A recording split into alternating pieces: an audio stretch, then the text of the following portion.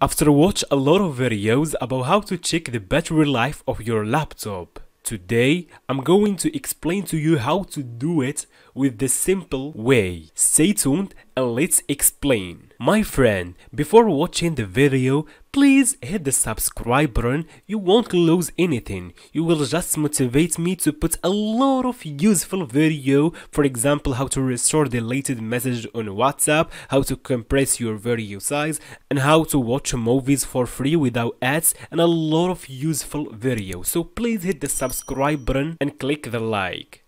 So, if you want to check the laptop's battery health in your Windows 10, you will go to the search bar and click and write command prompt like that.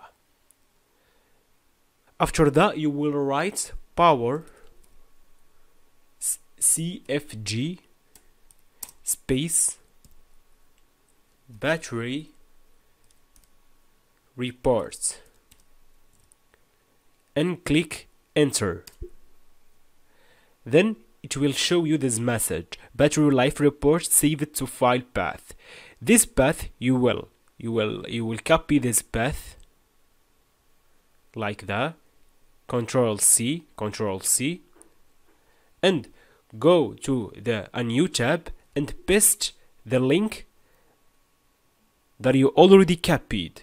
Click OK. Then it will show you this battery report this file is show you your battery reports everything about your laptop's battery here it show you some informations about your battery like computer name, system product name, BIOS, OS build, platform rule and a lot of things.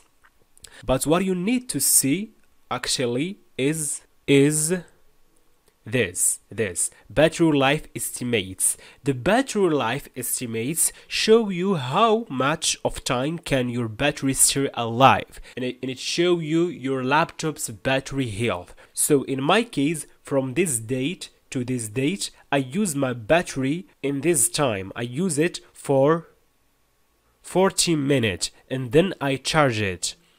Then i use the battery from this date to this date for this time 38 minutes. Then I didn't turn on my PC in this date and I didn't turn noise also in this date. But at this date I turn on my PC and I use it without charging for 1 hour and 40 minutes. And as you can see here the same thing but here I use the battery for almost 2 hour. Then I charge it then I use it for this date. And here is the time that, that my PC can alive it's 1 hour and 54 minutes and 22 seconds.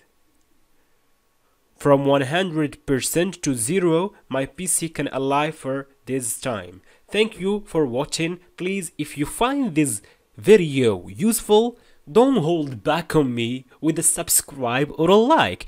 And goodbye